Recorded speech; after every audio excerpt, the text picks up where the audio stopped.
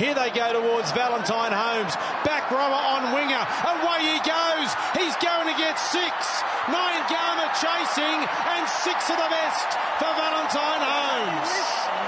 Australia is through to the Rugby League World Cup final with a comprehensive 54 points to 6 win over Fiji. When you think of Rugby League World Cups, you think of uh, Australia and, and uh, England straight away. Um, the rivalry has gone back, you know, before probably my father was born and his father was born, and it's certainly, um, you know, something when I've finished playing football, you, you look back on and be able to say, you know, uh, we were a part of that and we were a part of that history, that tradition, and um, it's something certainly very special to and, and, humbling really to be able to take part in such an event like this, a World Cup final in Australia against the English. It doesn't get much better than that. You know, they've got James Roby, if, if we're talking about Josh Hodgson there. He's um, almighty experience. He's played. He's played for England. He's played for Great Britain as well. So, and he's won. He's won grand finals. He's a big time player, and um, he's a guy I looked. I watched when I was a kid playing for England and Great Britain, and um, yeah, it, it, losing Hodgson and bringing him in, he's, he's still he's still a class player. He finds himself 15 out from his own line, and James Graham monstered.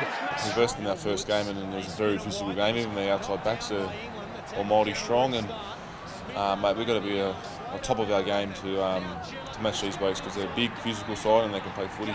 Gale, Brown, early running ball to win it. McGillvary's in off the scrum you know, they've got some crafty halves and you know, their, their outside backs are big as well. So they're really well balanced and um, you know, they're going to be well coached. We all know that. There's nothing Wayne Bennett hasn't achieved in the game. We go down as one of the greatest coaches in rugby league and um, England got him on his side. So you know, we, we know he's always um, chopping and changing, always got some sort of some sort of plan for us. But you know, we just got to concentrate on us. Um, you know, we, we're sort of going this week, train well and prepare well, and because they're, they're all, almighty good side. And that's a bit like Petro used to run.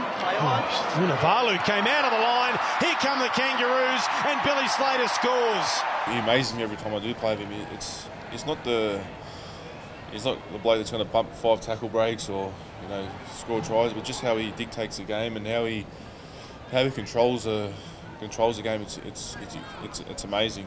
And um, getting to play with him and Cooper Cronk, Billy Slater, and just how those guys uh, operate a football game, it's, it's amazing. Can't see him pulling the pin, mate. Um, he hasn't missed a session this whole uh, this whole tour. Um, he trains every day with the boys, trains just as hard as everyone else, and um, obviously his performances speak for themselves. He's a miracle worker, mate, but I, I, can't, I can see him going on for another few years yet. Um, he's still in tremendous shape. Uh, he just gets through the games and keeps getting through the games, and you know just speaks, you know how highly and, and, you know just his quality of a player he is. Hopefully he keeps playing for Australia, not Queensland. So, um, oh mate, he's he's an almighty player, and I'm very blessed to have played with him and and hopefully continue to play with him.